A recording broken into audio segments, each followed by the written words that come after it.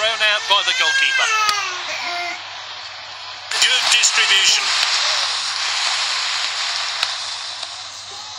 That's good link-up play. Great footwork there. Not a good tackle at all.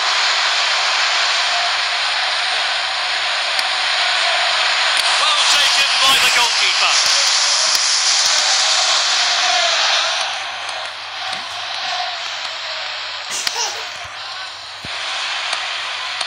Ball's crossed the line, it's out of play. We're only going to have one minute of stoppage time today.